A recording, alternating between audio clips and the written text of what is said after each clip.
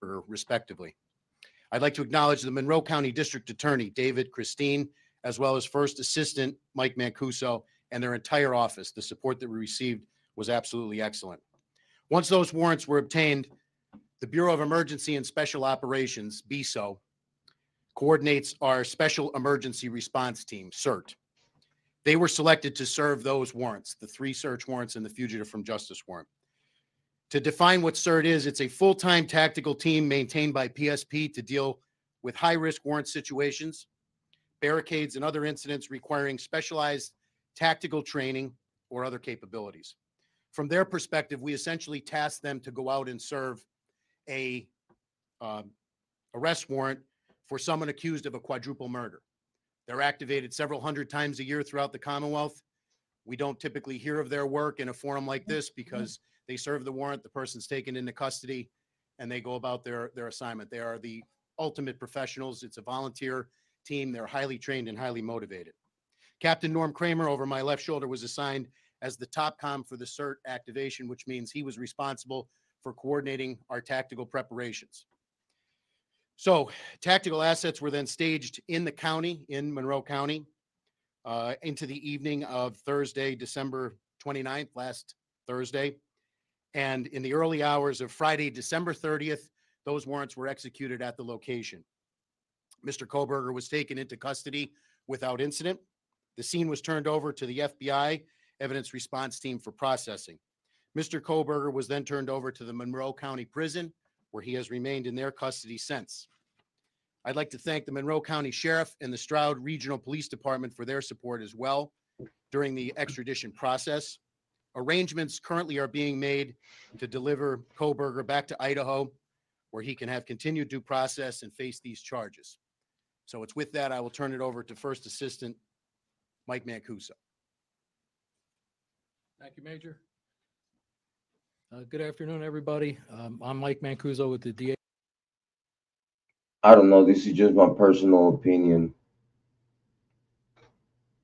Don't these guy don't don't these guys look shady to you? Like it's just my personal opinion. I'm not trying to be mean and nothing like that coming down below, but but this guy looks super shady. DA's office, the First Assistant District Attorney. Uh, I want to give my uh, condolences to the families of the victims um, out in Idaho uh, for their loss. It's my sincere hope that uh, this marks a clear step in the right direction of effectuating justice for those folks.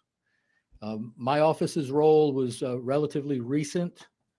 Uh, we weren't um, advised of the presence uh, of the defendant in our county until um, only a couple days uh, before the apprehension of the defendant. Uh, but when we were told, we came together and worked very closely um, with Captain Kramer, who did an excellent job in almost like a So these guys got involved after Kohlberger got arrested. clockwork operation. Uh, part of uh, my duties um, were to ensure that three separate search warrants uh, were issued. Uh, those affidavits attached to those search warrants are still under seal, so I can't discuss their contents with you. Uh, but one was for the person of uh, Mr. Kohberger, collecting DNA and photographs, that sort of thing. One was for the white Elantra vehicle, uh, which um, I understand uh, has been seized and uh, is being processed. And one was for the address, the residence itself that he was living in. So that means that this guy read the affidavit.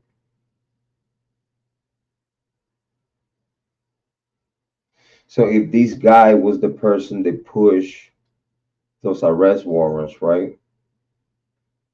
And, and never mind not mentioning the counselors and stuff like that. So this guy push. You see, again, in my personal opinion, this guy looks shady, and that face right there that you could see at this moment on the screen is a deception.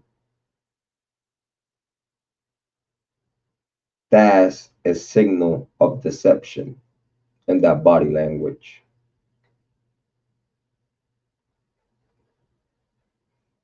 My problem with this whole Pennsylvania situation is that if everything is on the seal, you didn't have the chance to read nothing.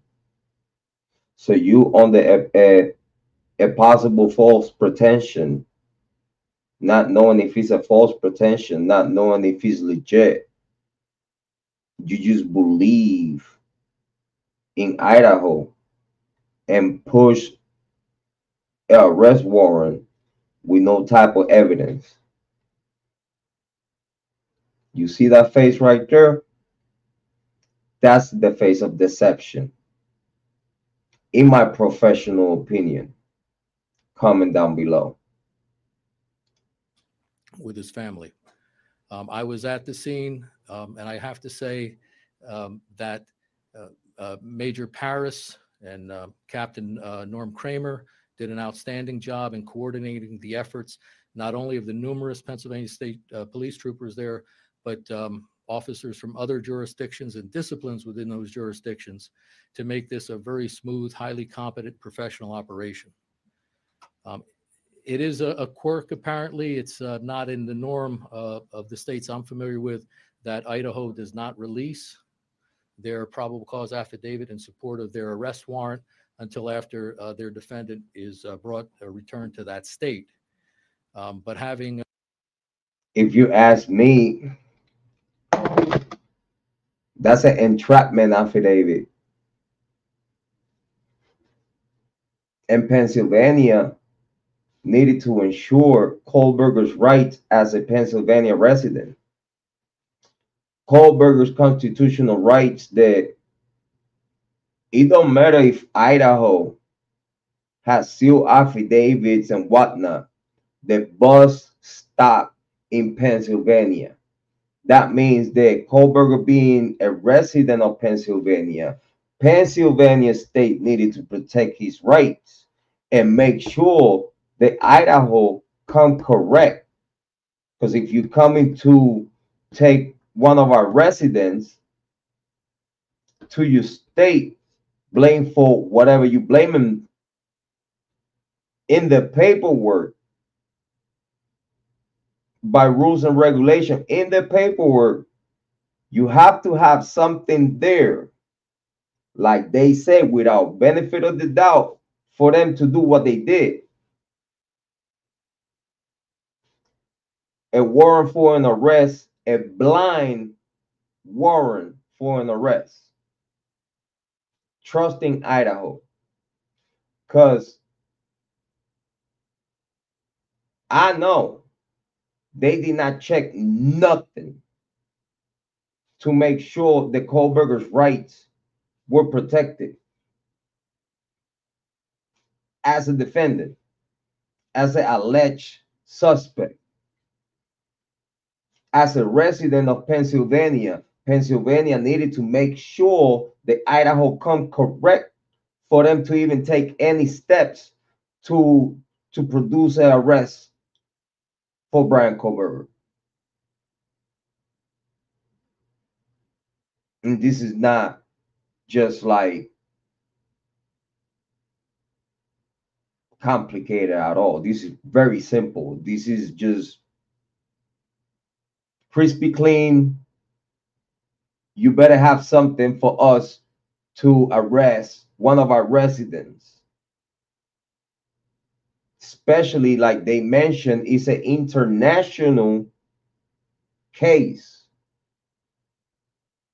In this press conference, they made it clear that this is a international matter. The whole world is watching. So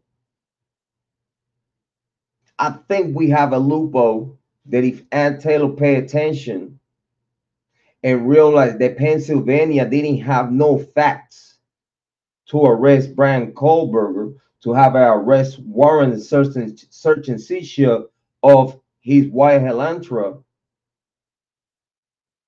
and realize that all these process was illegal. I believe that Bryan Kohlberger, if Anne Taylor's doing her job, she could get him out even quicker than whatever she had going on right now in court.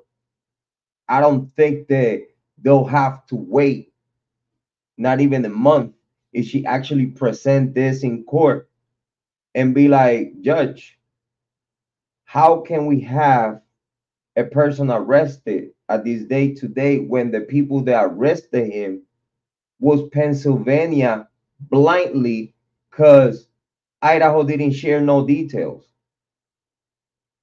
Bryan Kohlberger got arrested by the state of Pennsylvania, trusting Idaho without looking at nothing. Comment down below. uh, read those documents and the uh, sealed affidavits of probable cause, I definitely believe that one of the main reasons the defendant chose to waive extradition and hurry his return back to Idaho was the need to know what was in those documents. This is Um, so important right here. Let's play this back. In support of their arrest warrant until after other jurisdictions and disciplines within those jurisdictions to make this a very smooth, highly competent professional operation. Um, It is a a quirk, apparently. It's uh, not in the norm uh, of the states I'm familiar with that Idaho does not release their probable cause affidavit in support of their arrest warrant until after uh, their defendant is uh, brought, or returned to that state.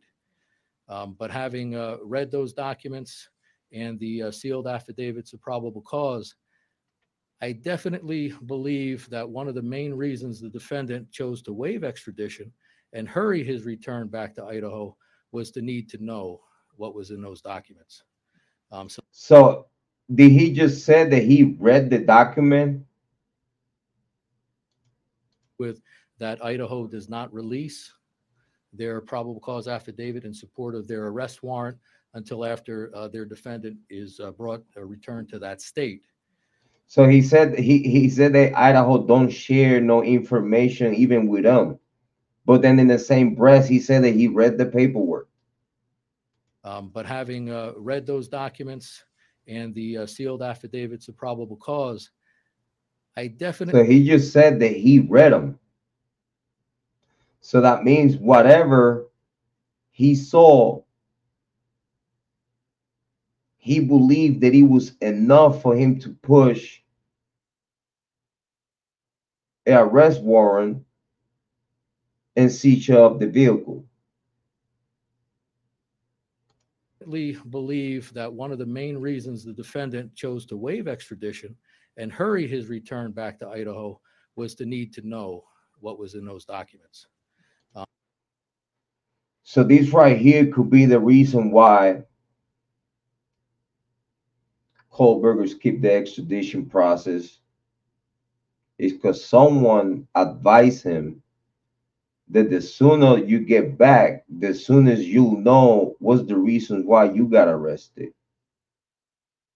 And if you ask me, this is entrapment. Listen, man, in my personal, professional opinion, this is an entrapment. This is an entrapment. How can this guy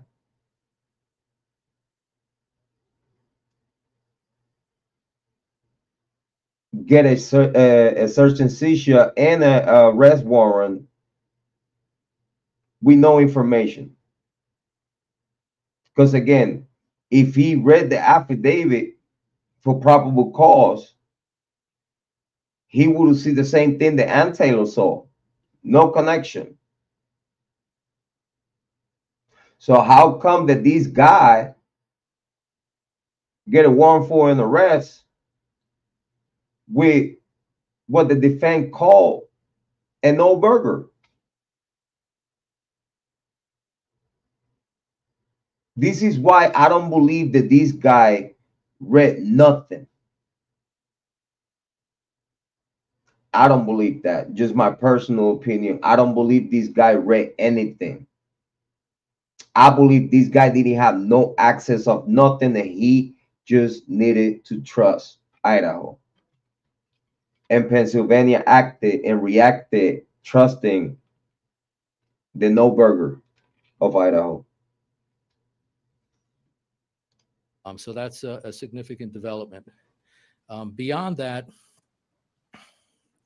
looking at the, the scope of the, uh, the situation and the ties this defendant has to my county, Um, I uh, would uh, hold our office at the disposal of the Idaho authorities um, to help facilitate a complete uh, background investigation into the defendant, um, both uh, activities prior to the murders occurring within the Commonwealth of Pennsylvania and his activities after the murders in Pennsylvania. So we stand ready to assist with that effort on an ongoing basis. Thank you. which on the background check seems that he didn't have no no police contact only a 911 call that he made uh to the park uh to the 911 system to get the park rangers to open the gates of a park that that he um I believe he was jogging or something. So it was really no burger about Kohlberger in Pennsylvania at all. That actually got confirmed